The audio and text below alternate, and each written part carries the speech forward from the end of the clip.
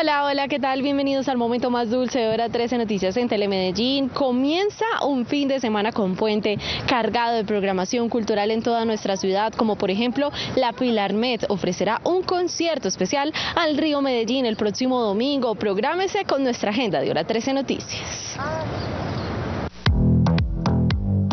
Hoy y mañana en la Casa Teatro El Poblado podrá disfrutar de la obra acto número 2 de la Corporación Compañía de Reojo, una puesta en escena que mezcla tragedia, comedia, drama y humor negro. La cita es a las 8 de la noche. Como una reina.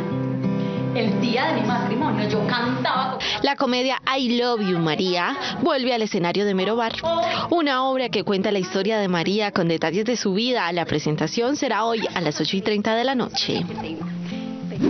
Hoy y mañana a las 8 de la noche en el Teatro Oficina Central de los Sueños se presentará la obra Fin de Viaje, una puesta en escena que da una mirada a la poesía colombiana en el último siglo. Fin de semana de conciertos de las filarmónicas de la ciudad. La Orquesta Filarmónica de Medellín, en la celebración de sus 40 años de historia, realizará un concierto al Río Medellín este domingo. Una presentación con entrada libre que fluirá por varios puntos de la ciudad. Comenzará con el quinteto de metales y batería en el puente peatonal de la estación Ayurá a las 9 de la mañana.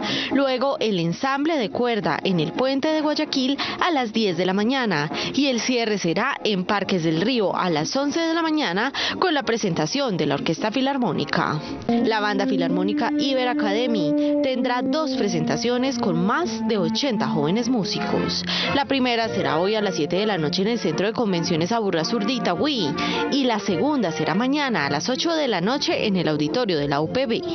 Ambos conciertos con entrada gratuita.